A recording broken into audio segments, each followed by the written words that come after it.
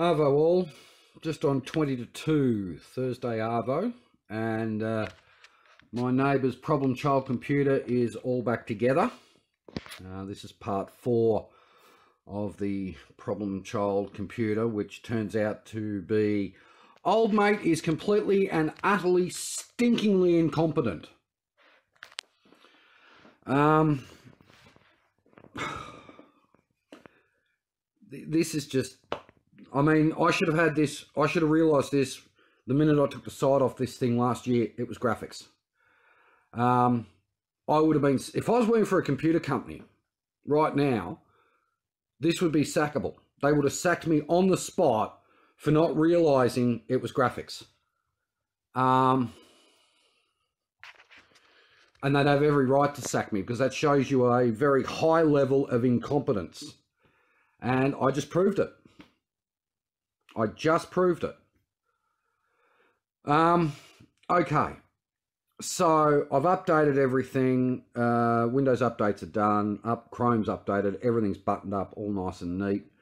Uh, I still can't find a um, thing for the graphics card, but um, I've spoken to my neighbour. I apologised profusely to them. They went, "Yeah, fine, fine. It's don't worry about it. Don't worry about it," which is a load of rubbish. Of course, I'm going to worry about it.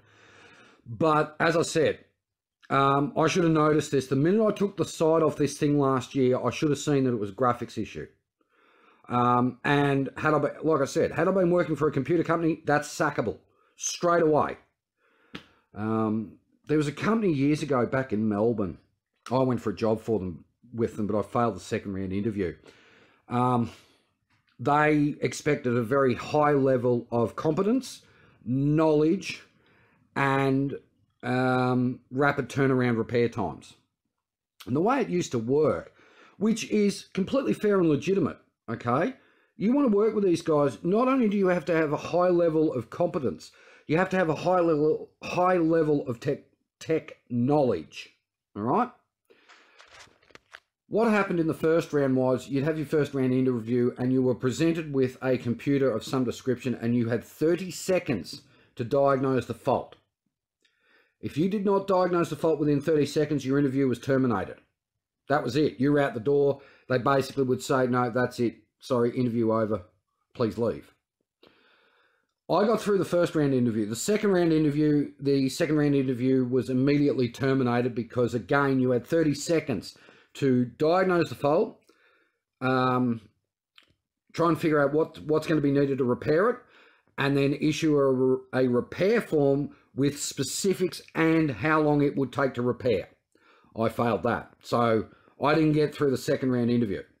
All right. I would be sacked for not having fixed this within, you know, like I said, 10 seconds of opening the side.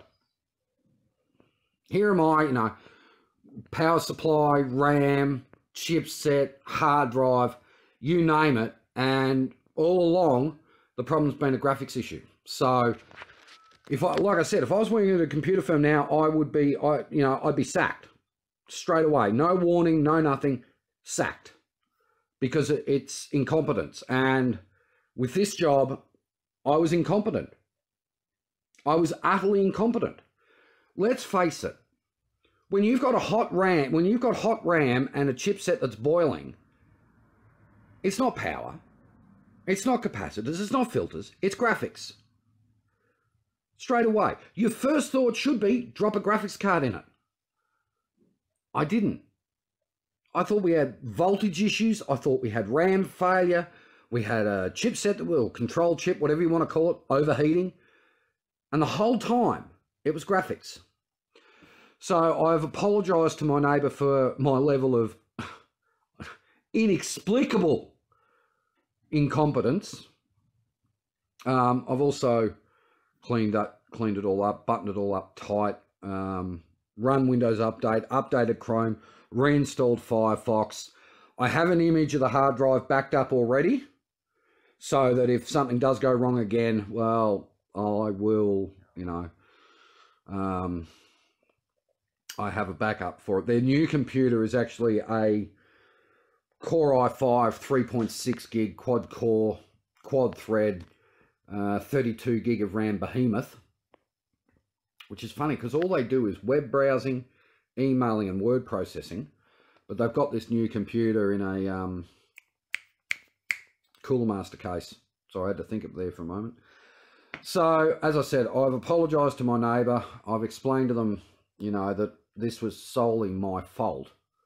Um, but there we go. I have actually offered if they want, I'll do a free hard drive upgrade on this. I've got some brand new, when I say brand new, they're new to me, but they're raw drives. A couple of Western Digital Blue 1 Terras, which if they want, I'm happy to just give them uh, rather than make them pay for it, even though you know, I probably should.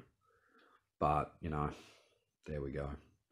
Old mate's a dummy! Yes, he's completely stinkingly useless incompetent.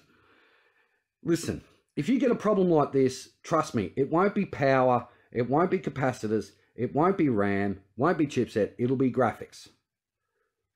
You drop a graphics card in there, 90% of your problems will be solved. Because they were with this. There we go.